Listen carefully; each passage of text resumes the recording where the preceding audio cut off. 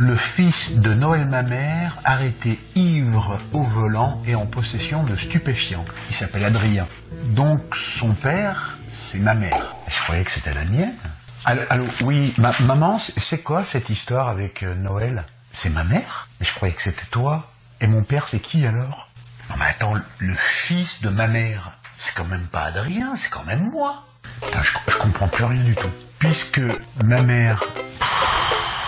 Putain, ça se trouve, je suis écologiste et je le sais même pas. Putain.